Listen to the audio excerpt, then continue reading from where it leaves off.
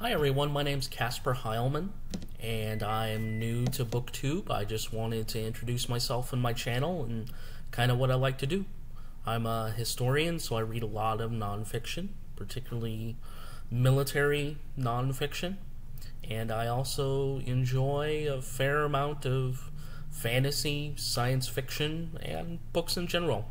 Welcome to my channel. Thank you. Bye.